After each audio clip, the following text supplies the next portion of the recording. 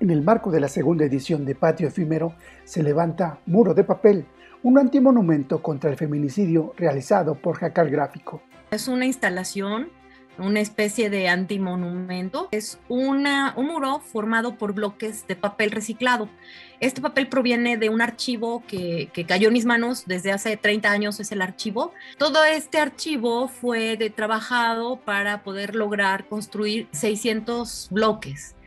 En cada uno de estos bloques escribimos el nombre de una mujer que ha sido víctima de feminicidio. En esta pieza se incluyeron 610 nombres de mujeres que el Observatorio Ciudadano de Derechos Sexuales y Reproductivos, el ODECIR, desde 2013 hasta 2020 ha registrado por notas que han publicado diversos medios. Son 610 nombres que, que venían en el archivo, cada nombre venía con la localidad del estado en donde fue encontrada la víctima, eh, su edad, su nombre, eh, el medio que lo publicó y la fecha. Nosotros de este archivo solamente tomamos el nombre y quisimos hacerlos visibles, de alguna manera materializar este, este gran número de, de víctimas. Con esta pieza se busca mostrar la realidad que se vive en México e invitar al público a la reflexión y de alguna manera tomar cartas en el asunto. Decidimos utilizar ese archivo eh, para, para construir los bloques y así hacer una especie de metáfora porque un muro de papel pues resulta, o sea, si lo piensas es como algo que no te va a defender, es muy endeble, ¿no?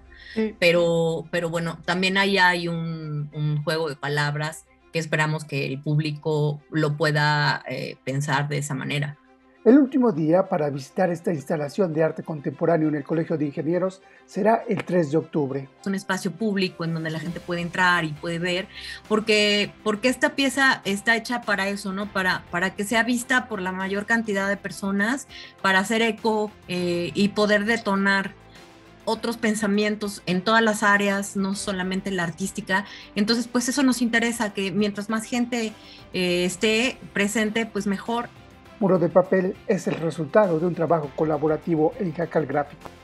Es un proyecto colaborativo, yo sola no hubiera podido hacer nunca los 600 ladrillos. Han estado participando Raquel González, Citlali, Mar Citlali Marcial, Abraham Calvario, eh, Santiago Miranda, Polo Torres y Juan, perdón, Santiago Osorio y Juan Hernández. El miércoles 29 a las 7 de la noche habrá una presentación de esta pieza en el Colegio de Ingenieros ubicado en la 11 Oriente número 9.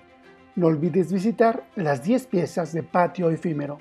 Informó para Radio y TV Web Carlos Maceda.